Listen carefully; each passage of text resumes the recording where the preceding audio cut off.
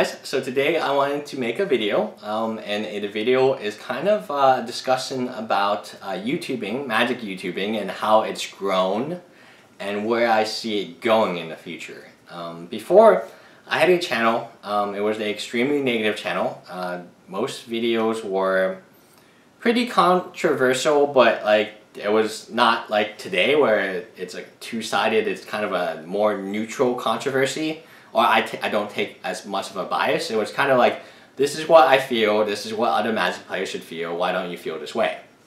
And I've since learned that like, uh, you just have to present the facts and then at the end give your opinion.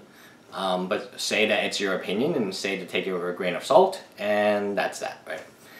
And so I used to be a highly controversial YouTuber and now like a YouTube channel I guess and now I'm much less so.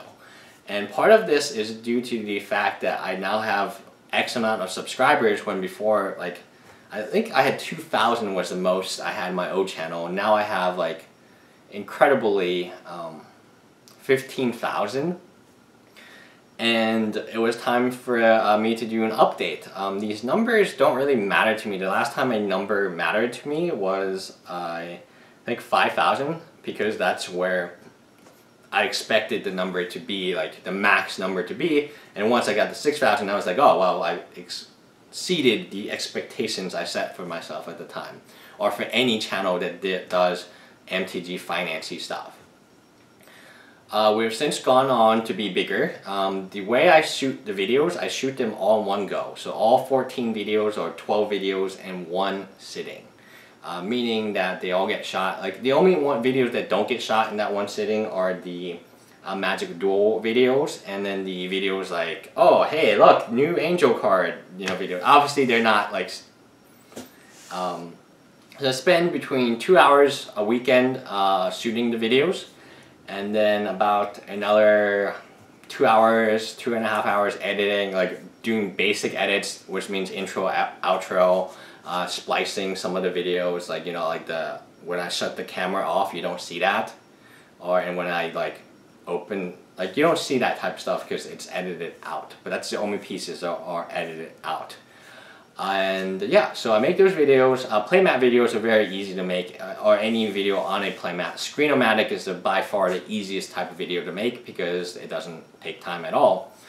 And yeah, so we make videos, but am I full-time on YouTubing? No, I'm not. Um, so unlike other channels, some other channels where their livelihoods are, they work on YouTube and that's fantastic. And I love the fact that there are now channels on YouTube who are full-time YouTube magic channels. And I think that's a very important evolution to the growth of the YouTube community in general is to have the highest quality available uh, but that being said, I'm not going to quit my job and be like, okay, I'm going to do YouTubing, right? Um, that's not going to happen.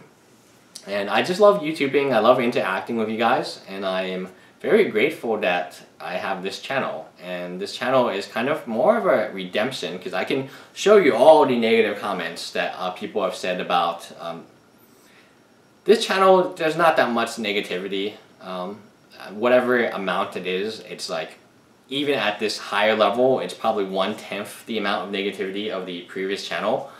So, but I really did love the previous channel a lot because it had the utter freedom to say whatever I wanted to say. Some of the stuff I am saying is very, um, I figured out that I cannot say it in the way I want to say it. I still want to get the point across, but I have to be more PR about it, right? I have to think about it a little bit more carefully and not uh, make sure people are attacked or they feel offended, etc., etc. And that's part of having a bigger channel, is that you shouldn't like. If I saw like a YouTube video and I didn't really like it and it came from like a channel that was smaller and I made a comment on that channel, in the past when you have a smaller channel it doesn't make a difference like what one subscriber will go over and say oh that video sucks but now like if there's a video um, like the magic monthly box or something that I'm just like why are people doing this I have to be fairly certain that I'm correct um, before I go ahead and attack it. And I have to be, uh, I have to, there's a higher level of uh, responsibility and I think that what that's what it comes down to as the channel gets bigger and bigger and I do hope that it gets bigger and I am very grateful I have so many subscribers. Although I still like kind of, I still view 15,000 sometimes as like 1,500. I'm like, oh cool, 1,500. No, I'm like dead serious um, about that fact because like back in the day, YouTubing on Magic was not like there was not many channels over 10,000. I think there was just one at the first time. When I started my old channel, there was maybe one YouTuber over 10,000. Uh, when I mean YouTuber, I don't mean store, I don't mean um, website that is generated by like 10 different people, right? Like Gathering Magic or uh, Star City Games or Channel Fireball. Those are great channels, but they're not, um, in my opinion, YouTubers because they're more like collaborations. They're more like a team of YouTubers, uh, which is not like a single person like me making a video. Uh, I think that's the video is very different because I have complete flexibility over what I want to say and what I want to do, and I don't need to consult anyone when I make a video. So, uh, simply put, um, our channel is going to continue uh, to, it, will continue to be this way. Um, I don't feel like I, many changes need to be made. I will be getting a, so before I end, I will say that I have not, I've collected $7.20 off Patreon, total, lifetime. 720 total lifetime as of this recording. And out of the 720, um, you had to send, I had to send the cards, I had to mail it, and all that stuff, right? And at the end of the day, like, you know, YouTube itself doesn't pay very much. Uh, my videos do get more views than like some channels do. But overall, like, you're not getting, like, you're not, the only reason you would make YouTube videos is because you enjoy making YouTube videos. That being said, I love the fact that we're transforming uh, into uh, more of a you know, hey, you can do YouTubing magic uh, full time. I think that little, that ability, and it's been shown, uh, the Mana Source, Tolarian, they've shown that you can raise enough money to do it full time, and that's fantastic for many reasons. But the primary reason I would love it is because that's going to increase the amount of content creators.